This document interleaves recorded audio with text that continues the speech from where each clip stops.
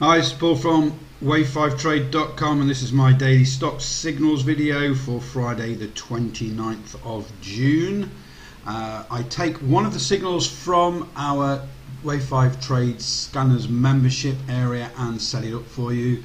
Very briefly in our members area our members get the option to look for long fifth wave trades, short fifth wave trades, stochastic longs, stochastic shorts. I'm going to talk about uh, long potential fifth wave trades. The fifth wave is the highest probability in an Elliott wave sequence, so that's uh, the, the, highest probability move in a trend.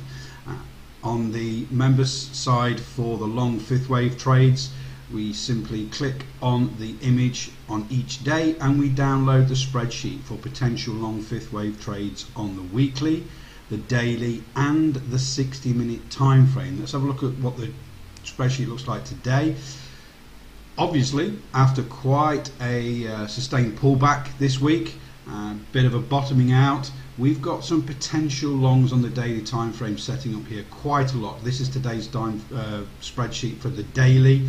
There's also weekly and 60 minute potential long fifth wave trades as well. So I've chosen just one of these just to set up on the chart and see where we are. So I've chosen DRH for a potential long.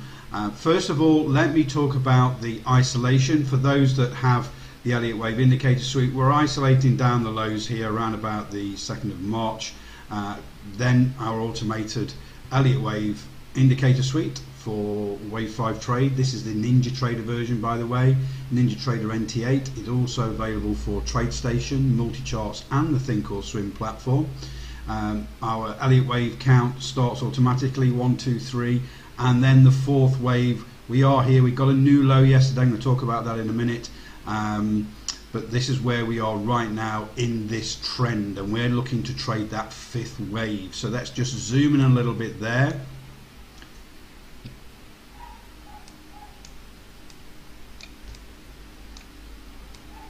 Okay so first of all the filters for the scanners membership three main filters. We've got a wave 4 pullback and that's pulled back into one of our automated probability zones.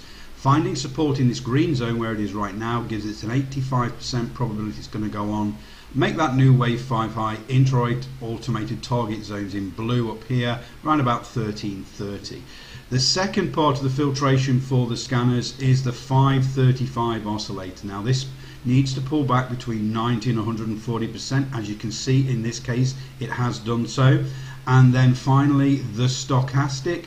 We've got the false breakout dots on the on the on the uh, overbought zone here indicating it's a strong bullish uh, momentum. Now it's pulled back against those false breakout dots. It, the likelihood is it wants to return to that main bullish trend. So with those three filters initially gets us the setup and then we just need to look for the entry. Before I go through the entry, I just want to uh, take a note of the volume here. Quite a spike in volume yesterday and a rejection of those new lows uh, and close near the high. Green doji there. When we get a rejection of lows like that with higher volume, that's a really good sign that we're going to uh, have a bit of a bullish move. Yes, we need confirmation day today. Uh, the wave 4 on the indicator suite will move to this new low when the market's open today. So I've set the trail the stop loss sorry at 11.95 below this yesterday's low. The entry is 12.45, so this is outside the 6-4 moving average high, which is part of our Elliott Wave indicator suite, which gives us a starting point for entry strategies, but also, obviously, we need to go above this pivot point here because this is a price in which traders decided that they didn't want to go any higher and it came back down. So we need to be above there. So 12.45 is the entry long for DRH on the daily time frame. And then the target's around about 13.30. So as you can see there with that quite conservative entry strategy there, we still have a good risk reward of 1 to 1.6 into that target zone at 13.30 there. Obviously this all depends on today that we get confirmation move, we've got a higher high, higher low, away from yesterday's low. But good sign always for those members uh, that have the indicator suite and, and members also the members of the signal service. Don't forget, look for those rejections with higher volume. They're always a good sign on those wave fours.